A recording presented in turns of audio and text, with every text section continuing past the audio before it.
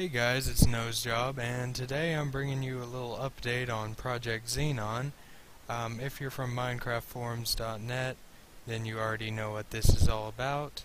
If not, well, I guess you're just a random YouTuber, and I welcome you as well. Now, um, if you are looking at this on MCF, then you'll notice right here from the uh, latest screenshot, it looks looks pretty similar, but uh, what you won't notice is this over here. Um, if if you uh, look there, you'll see a ton of little control bits sticking out of the side of this. I'm not really going to count or anything, but you know, about 60 or 70 of them. And what I've done is condensed this all down through these decoders here. So now we have 17 bits to uh, control this whole area of the CPU right here. Well, actually, to control the whole CPU. And that that'll be nice. I'm just you know trying to keep the instruction set as small as possible, make it a bit easier to program. That's really the only purpose of it at this point. Then to keep my uh, program memory a little little bit smaller, smaller registers because I'm going to be using RAM to make them easier to program. And uh, so this top decoder up here, that is for our writing functions. You have this decoder right here, 3-bit. so that gives you unary bits 0 through 7. So we have 8 locations here. You just, you know, put uh, whatever location you want, and then you hit this right here, which is what actually writes. And then these down here, that's for the first reading bus. We'll just call that reading bus A and then this is the enabler for it. So that's that's how your read function works. And then this one down here, that's our second reading bus, uh, bus B, and this is the enabler for that. So it's a little confusing that right there, but uh, this is not how the computer will actually be controlled. That's just what I was basically using for testing, and uh, you know, some people came in, and played with it and whatnot. Now these four bits down here for ALU functions. And uh, you'll notice that I have the 4 bits here, but I do not have a unary bit 0. This is 1. And the reason I did that was so I wouldn't need an enabler.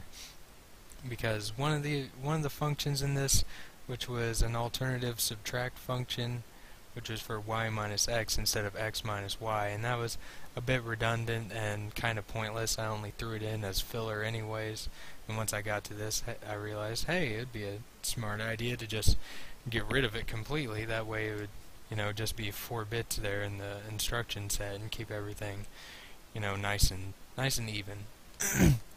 then um, our 17th one is over here, and that is our ALU's input register. And how this works, it's a single register, which is different. And uh, th the reason that is is because we have two reading buses, and reading bus A writes exclusively to the Y input, and reading bus B writes exclusively to the X input. And that has a couple small disadvantages, but the advantages by far outweigh that because um, reading is twice as fast as it would be say in my old CPU where I had two separate input registers and a single reading bus.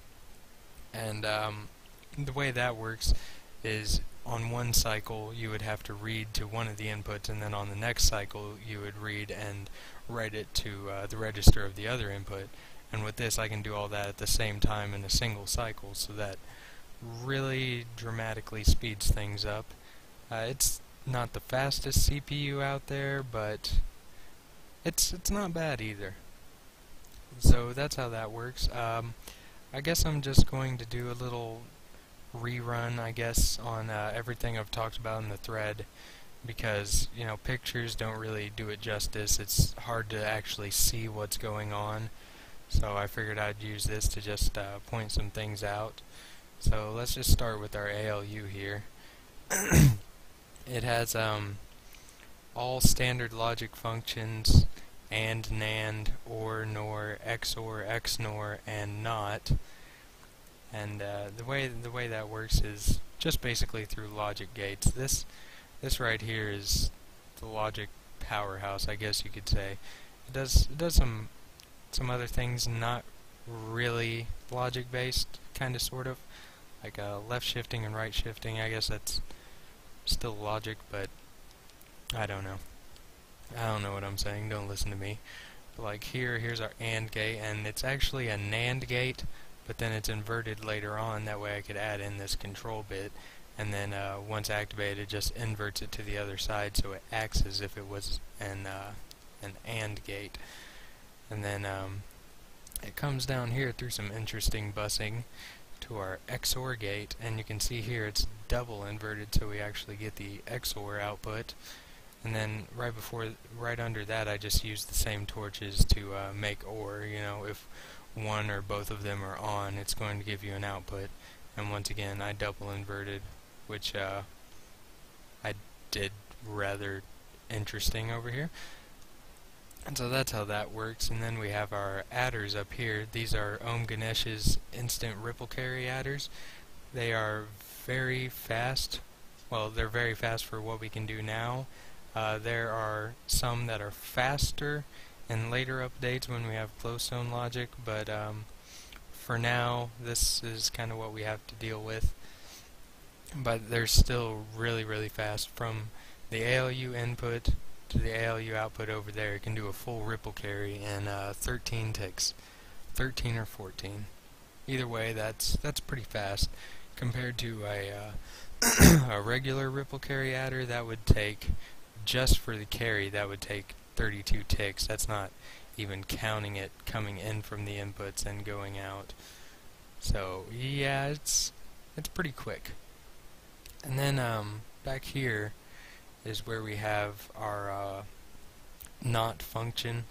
And this is it pretty much acts as an alternate output. It gives you the inverse of what your output would be.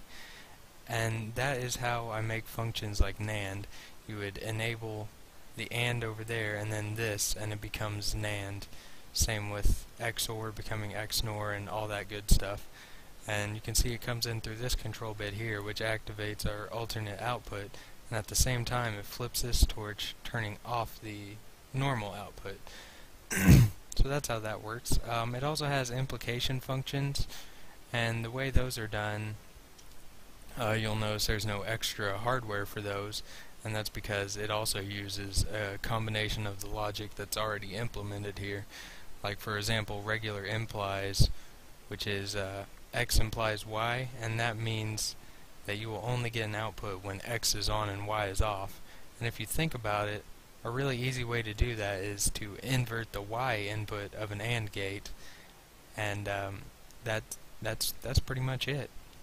And so that's why we have these over here, which are our input inverters, and uh, how they were made. These are just one wide vertical XOR gates.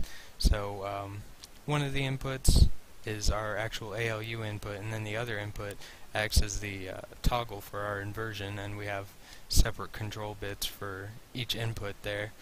So that's that's how uh, a lot of the functions are made. Um, all the implication functions are made that way, as well as subtraction. Because uh, you'll notice I don't have an extra adder here for subtraction. That's because the way it works is um, the adder is activated, the invert input X line is activated, and uh, the output is activated because if you take not X and add Y equals not Z, that gives you subtraction. it doesn't work with uh, negative integers, but um, I'm I'm working on that. I'll probably throw in a plus one function or something. Um, actually, at this point, I don't really think I'm going to because I don't want to go any bigger with the ALU functions and have to add on to the decoder or anything. So I'm just going to pass on that. Uh, coming back here, we have our shifters. And this is for bitwise shifting. And you see the way this works, like this right here is a right shifter. And when this piston extends, well, first of all, you'll see normally we have this little zigzagging motion up to the output here. And when this extends, it will block that path off, and uh, plungers of pistons as well as pistons themselves are transparent. So it will pass sort of under the plunger and come out here. And you'll see the right shifter on this side will block off that path. So it uh, can't sort of backtrack this way and go up and go into the next bit and really mess stuff up so then it will just come out here into the uh, next bit over to the right. And then um, in front of this we also have left shifters which I realized after I got done building everything that it was completely pointless because you can just take the same value and add it together and that essentially does the exact same thing as a left shift. But as you can see this these use uh, piston logic they're completely instant so it adds no delay. And I figured they were already built and there's really no point in destroying them. So I decided to just leave them in. Might as well use them since they're already there you know. Um, these up here in fact let me just go over here to the other side. Uh, these are the dual read RAM cells here they're just a bunch of D flip-flops with built-in read functions um, Funny thing is, I designed these and then a short while later I found out that uh, a popular redstoner out there is really amazing by the way, Proper English. He had already designed something almost exactly like this. My dual read is very slightly different, but other than that, uh, full full credit for this design goes to him either way.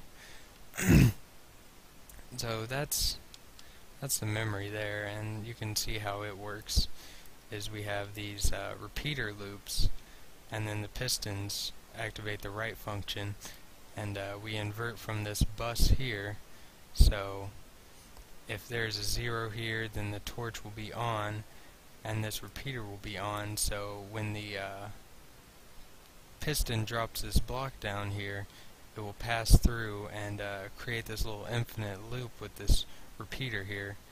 And uh, alternatively if it's on and the torch is off then the repeater will be off and this thing will just come down and break the connection. And now I am getting really freaking laggy here and I don't have a clue why but whatever. Um, yeah I'm at like okay now it's going up but I was at like three frames per second there alright I, I think it's about time to go ahead and cut this video off. I'll uh, bring some more updates as any significant process comes comes along and uh, try to keep you posted on it. But uh, this is it. Um, I'm going to try to upload a uh, demonstration showing that it actually works here within the next few days, so look out for that as well. But um, yeah, this is this about does it for uh, Project Xenon here. Hope you like it, and I'll see you next time.